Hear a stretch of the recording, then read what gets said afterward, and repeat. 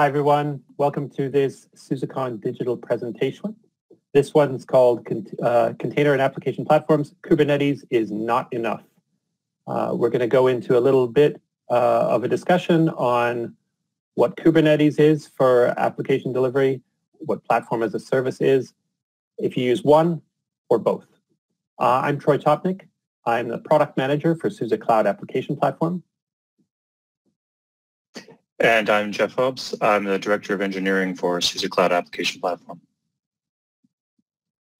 So one of the things that uh, Jeff and I both hear a lot when we're talking to customers, to customer prospects, and to developers in the field um, is, and especially when we're talking to analysts, is what makes Kubernetes hard for application developers? What is it uh, that is driving all of this action in the ecosystem to create platforms on top of Kubernetes?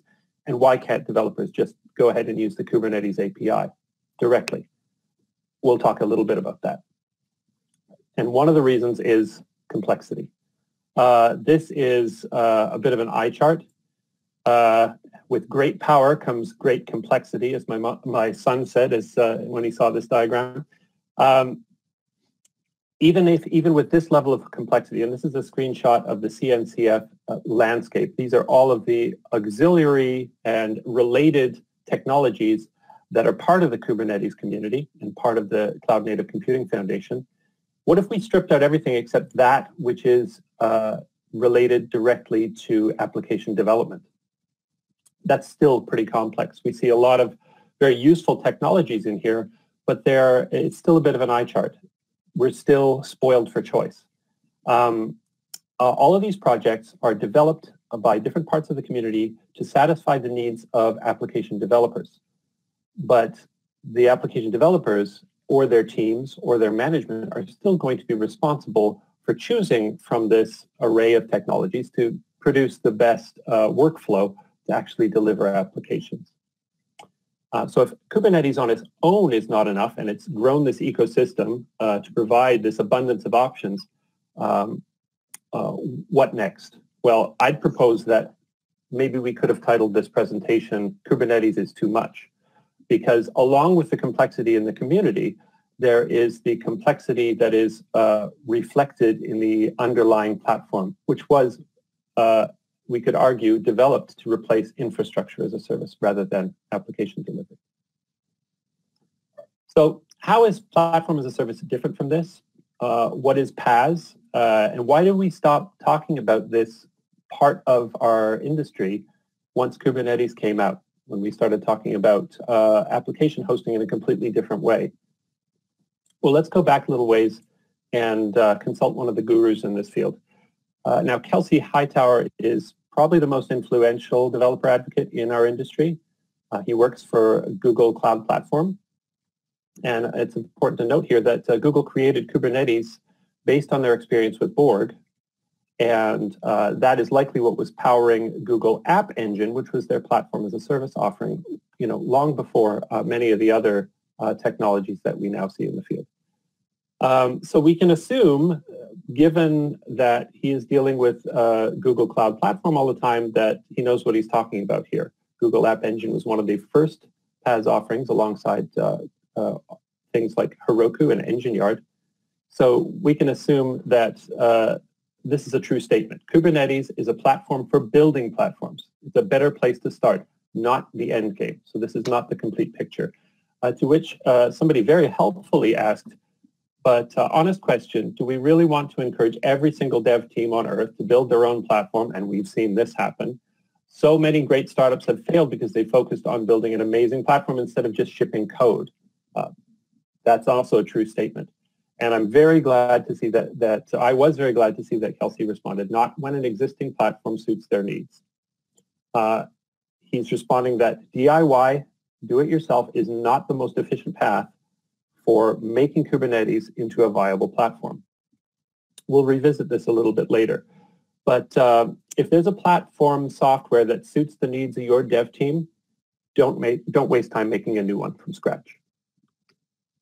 So what we're going to need to talk about here is what is that application platform part? What is that part in between Kubernetes and actually delivering business value with your applications?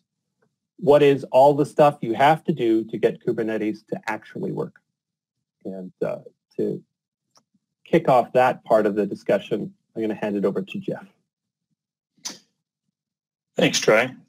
So uh, first off, uh, many of you might have seen this particular diagram called, you know, been referred to as the pizza diagram before, where we're separating uh, the different uh, as a service options into their areas and, and what is managed by what layer. So we have infrastructure as a service in, in this case, which we'll be referring to Kubernetes. Uh, some people try to separate infrastructure and container as a service. They're much the same VMs or containers. Then we have platform as a service and, and finally software as a service where the, uh, the bluer color here is a vendor managed section of the stack and the green is then the self-managed. And in this rather simplistic view, you see that the difference between the infrastructure as a service and a platform is that the OS middleware and runtime are now actually uh, managed by the vendor and uh, or you know that whatever the open uh, sort of software you might be using in that sense a PaaS should handle the OS middleware and runtime. So if I'm going to extrapolate from this, then um, I might take this little picture out. Uh, here's the perception, you know, going uh, again back a step. There's the virtualization and, and up area, which I'm looking at here, is now in this perception. I have an application and it's in a container. Um, and a lot of people uh, ship variations of this. And, you know, it's the, you've got your container, you've got your OS specific pieces on it, the middleware, runtime, and of course there's some application. But how does this really mass, uh, match what the reality is? So, you know, that reality is applications are not containers. Um, a much better view might be this one, where you have an application as a concept uh, comprised of multiple microservices. And then there, each of those microservices does something uh, individual and has its own data, might have different even runtime or middleware. And in this particular case, though, this is a simplistic view even of that reality. Uh, when you want to really get into it, there's uh, the fact that all these microservices, one might be Java, one might be Python, um, another is in Go, and the data is not even necessarily local at all. You might have some of them talking to an external database, some of them talking to message queues, and they might be sharing. In some other cases, these containers might not even be in the same region. So the the concept that uh, all of this this fits in the pizza box of the difference between containerized management and application management is just the OS middleware and runtime is is definitely a, a huge fallacy that that um, misunderstands the complexity of what it means to manage applications. So, um, you know, what next step in, in application management is uh, considering all the other aspects of what it is to be an application. So how do I build that application and in what way is it constructed? And there's constructing it once and then there's constructing it a thousand times. And uh, eventually you want to have extra tools in that help you as you do this again and again. How do you connect it to services? So I've talked about that uh, data. Sometimes it's local, sometimes it's external, um, and, and definitely sometimes you want to be even swapping out the databases. So how do you make that simplistic in in your application lifecycle. And we're not just talking day zero, day one, but day n, which is, might be a thousand itself. Then, of course, there's scaling it. Uh, scaling it, is it just ramping up a single uh, application instance, or do you need a 100, or is it dependent on the service how you scale it? Then there's the routing. And, and of course, on top of all that, there's managing the lifecycle of the app, which is uh, versioning, uh, the scaling up and down through its life cycle. You know, we've experienced customers who are like, hey, it's coming up to Black Friday, uh, which is a huge shopping day in North America. When am I, uh, how, how, do I manage this kind of scale and, you know, being able to, to know ahead of time which applications are going to get the greatest load. So, you know, a platform really should understand the world from the application point of view. And if that's the case, um, let's talk about Cloud Foundry as that platform in particular and use that as, as uh, an example of what you can get from a good platform as a service. So what is Cloud Foundry as a platform? Cloud Foundry is an open source project um, and been around for, for, for many years. Uh, but at its high level, it's an API-driven, resilient, and scalable application-aware system. It was uh, originally um, pre you know, Docker era written for uh, virtual machine based systems and has been brought over to be perfectly functional now in the container management uh, systems on, run on Kubernetes. Uh, as a platform, it provides a separation of concerns between the application, the middleware, and um, the OS. The, it also handles all the routing and dynamic route management, which are necessary for for uh, scaling and for handling uh, zero downtime upgrades and, and those kind of features. There's also a role-based access control with organization and space concepts. And I'll go into this a, a little later about why that's important. Um, all along with this, you have the service brokering, which I mentioned before, and centralized logging and, and other centralization of that application management so that you can really understand everything that you're running in your system, not just as an opaque set of compute resources, but as in this application is running here, this application is running there, and it connects to these services and um, in a self-healing manner and also uh, aware manner so you know when there's something's gone wrong, where to drill in. So let's uh, take uh, step in and talk a little bit about the separation of concerns and, and, and why this is important.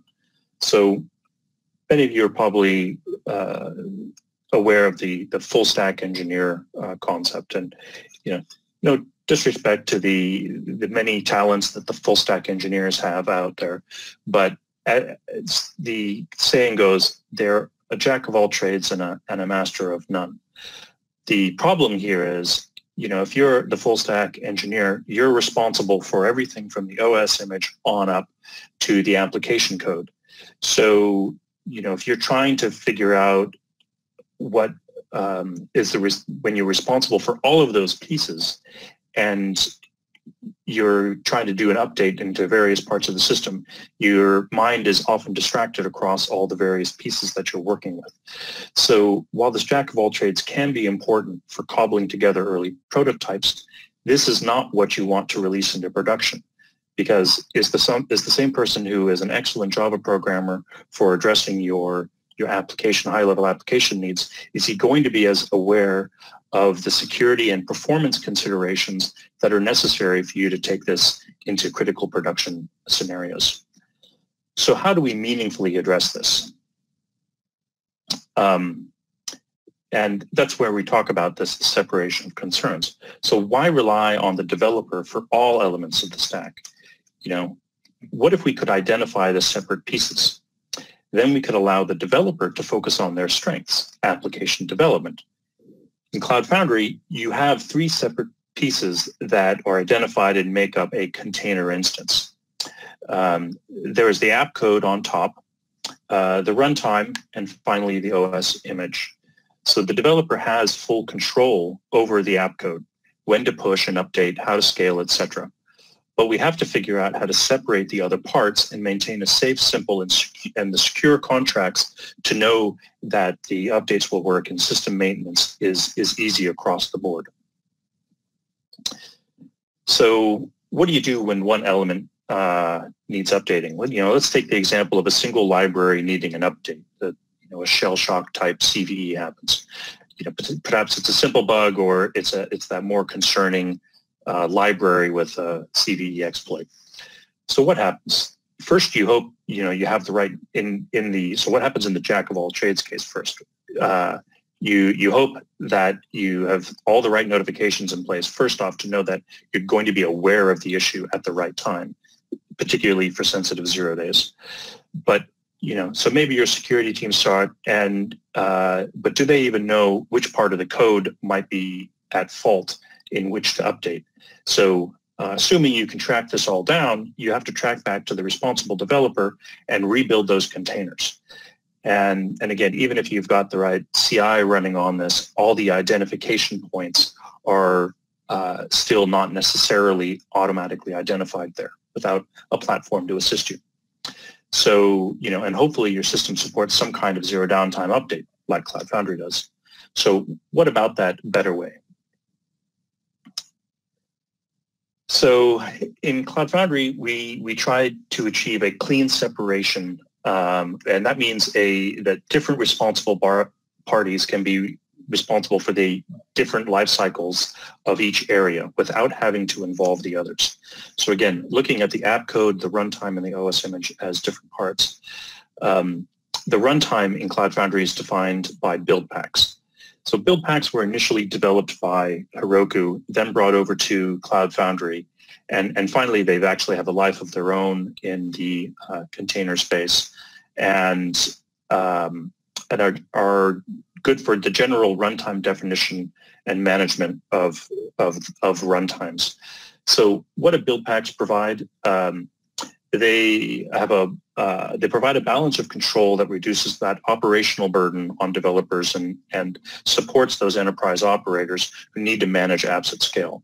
They basically ensure that apps meet security and compliance requirements without the developer intervention.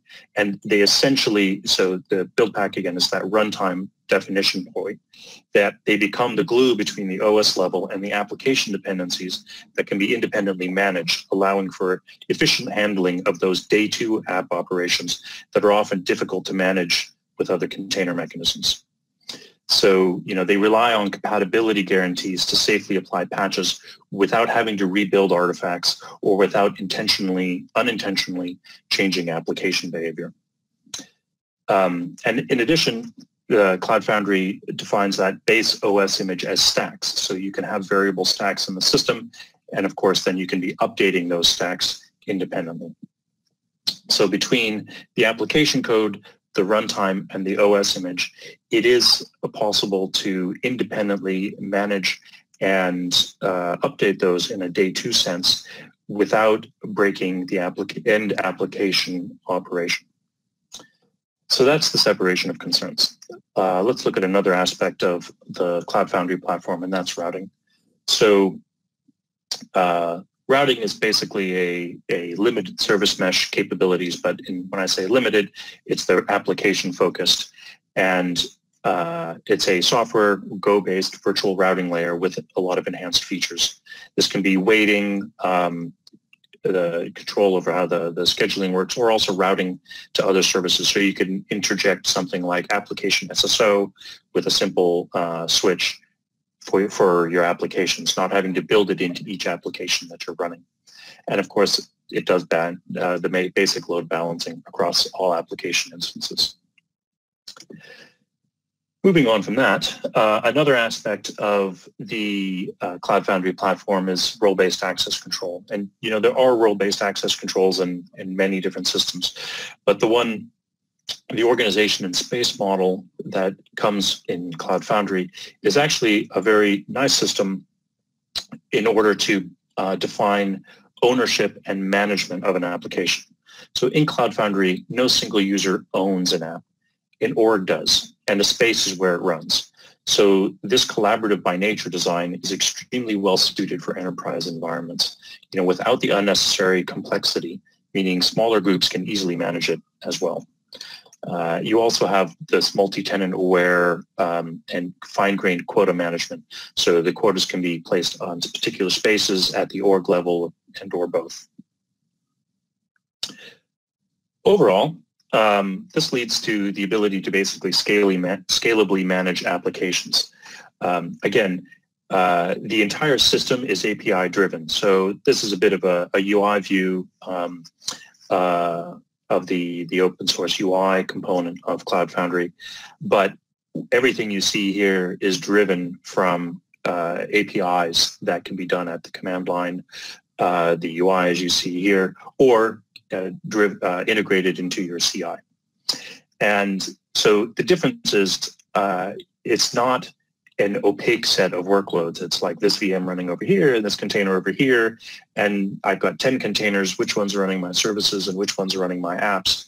I can see that in, in a much more uh, uh, overview friendly manner when I have a platform that understands things as, as an application. So a good application platform will provide the tools that empower developers on that larger scale in the enterprise environment. What you're getting out of it is, is freedom to choose, whether that's the, the language choice or the, the services choice, uh, providing you an ability to innovate quickly because you're not necessarily restricted by certain choices because they don't fit a particular model. Here we've defined the model and uh, adapted for the flexibility within it. And from that, you can manage applications at scale while adhering to enterprise standards. So you move from, you know, a very disjoint production uh, uh, to, to implementation scenario into a nice smooth one. So that is the Cloud Foundry uh, platform. And with that, I uh, pass it back to Troy. So what does this Cloud Foundry platform have to do with SUSE and what does it have to do with Kubernetes? Um, well, let's take it back to, uh, Kelsey Hightower. Uh, I saw this tweet a few days ago, and uh, as he said, it's it's still true. He's still having these conversations. I'm convinced the majority of people managing infrastructure just want a PaaS. The only requirement, it has to be built by them. And I don't think this is an endorsement of do it yourself. I don't think because uh, back in in 2017, he said November 2017, he said uh, not when an existing platform suits their needs. So nobody needs to reinvent the wheel, uh, but wheels can always be improved. And uh, at SUSE, we've spent some time improving the wheel.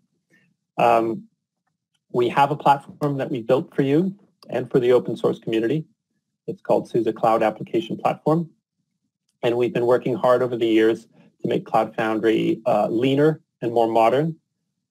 And we worked to bring the most successful components from the CNCF uh, ecosystem that we saw on that very complex slide uh, back into this project uh, to make it uh, uh, solve problems for not only the platform developers, but also the platform operators, those that have to actually manage a Cloud Foundry PaaS, manage the platform for their users, we know that managing workloads is something that Kubernetes does very well. So we've adopted a new architecture. We pioneered this architecture. And uh, with the next revision of uh, Cloud Application Platform, we're going to take it a step further with some projects that SUSE has been heavily involved in upstream. Uh, the most visible of these, as you've seen on some of the previous slides, uh, is a web interface called Stratos uh, when Jeff and I started working with Cloud Foundry, it did not have uh, an open source web UI. Uh, and SUSE has built one and contributed it to the community. Uh, it's not only a very good Cloud Foundry UI, uh, it is an excellent uh, Kubernetes and Helm UI. we made it with a multi-API, multi-endpoint proxy design intentionally so that it can be extensible and can serve the needs of the platform as the platform evolves. Uh, featured here also is kubecf, which is a, the evolution of SUSE Cloud Foundry and also donated upstream to the Cloud Foundry Foundation. kubecf is a containerized distribution of Cloud Foundry application runtime, which forms the basis of SUSE's cloud application platform. It's uh, deployed with Helm, which is a commonly understood and well-supported tool in the Kubernetes community and one that we support as well in Stratos. Um, another project where we've uh, done most of the heavy lifting is uh, Quarks. Quarks uh, operator it provides uh, CRDs, custom resource definitions for Kubernetes for supporting complex uh, workloads in Kubernetes. And these uh, CRDs came from the uh, BOSH orchestration layer that uh, used to be a requirement for setting up Cloud Foundry. If you wanted to set up Cloud Foundry on VMs, you would have to use BOSH, which was a specific orchestrator. for VMs, for Cloud Foundry. We made it possible for that entire community of uh, users and of software distributions, because there's more than just Cloud Foundry application runtime, to be ported over to Kubernetes in a very uh, Kubernetes native and Kubernetes idiomatic way.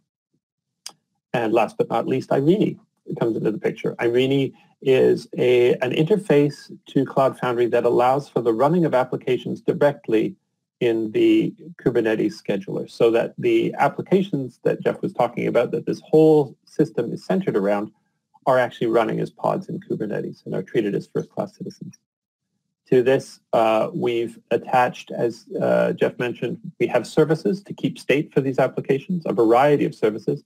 They can be uh, run on Kubernetes as well, optionally. And we have a broker that does that, a broker which uh, deploys Helm charts to Kubernetes to provide service instances for those applications. And the whole thing uh, can run on any Kubernetes, and we support by default. A, a CaaS platform, Amazon EKS, Azure AKS, and Google GKE. So this is all in aid of doing some very important things for your business. Uh, we've borrowed some numbers here from Cloud Foundry Foundation research. They found that the average cost savings per application development cycle was $100,000 for the large enterprises that use uh, use Cloud Foundry. Uh, that those same enterprises found that uh, they had a 10-week faster time to market per application on average. Some had even uh, uh, more significant gains. And of course, uh, the fact that we've ported this to Kubernetes, and SUSE has led that work, uh, allows for maximum flexibility of its, of its deployment target. So uh, as I mentioned before, Amazon EKS, Azure AKS, and Google GKE, or anywhere that Kubernetes can run. Um, the uh, this is all in aid of uh, allowing our customers to simplify their development workflow, governance of their software estate, modernize their application hosting infrastructure, and accelerate innovation through continuous delivery of line of business applications. So if you want to know more, just go to the SUSE website. Uh, you'll find a link there to the Cloud Application Platform page, which gives you all the details of where you can find out more you can jump directly to the documentation at documentation.suse.com and see how it's set up and see how it's used. If you wanted to look behind the scenes at the kind of work that we've done to make all of this uh, happen, feel free to take a look in GitHub. In the Cloud Foundry Incubator and the Cloud Foundry main uh, organization, you will see kubecf, Stratos, Quarks Operator, and Eirini, and you'll see our contributions there, and you'll be able to kick the tires. Um, and as always, we really welcome feedback uh, on our products and on, on the work that we're doing. And we like to talk to customers. We like to talk to people who are just interested in the software. And there's a vibrant community going on at uh, the Cloud Foundry Slack, slack.cloudfoundry.org. You'll find uh, most of us in the Stratos, uh, kubecf dev, and Quarks dev channels if you want to get, uh, get in touch with us. So Thank you very much for attending this SUSECon digital presentation. Uh, we hope you enjoyed it and we hope you learned something useful.